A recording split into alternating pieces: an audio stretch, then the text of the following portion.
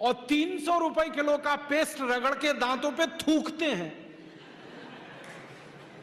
वो कहते हैं, हम बड़े स्मार्ट हैं। मैं उनसे कहता हूँ, और स्मार्ट बनो। क्या कहते हैं, क्या करें? मैं कहता हूँ, ये तीन सौ रुपए किलो का पेस्ट इसको थूकते क्यों? इसी को रोटी पे लगा लगा के खा लो। गाय के घी से तो महँगा है। कितना फालतू खर्चा कर रहे हैं। तीन सौ रुपए किलो का पेस्ट मैंने एक दिन हिसाब निकाला था, एक आदमी रोज जो ब्रश करता है ना सवेरे का तो एक बार के ब्रश में डेढ़ से दो ग्राम टूथपेस्ट इस्तेमाल होता है। तो अगर वो आदमी साठ साल तक अपनी ज़िंदगी के साठ साल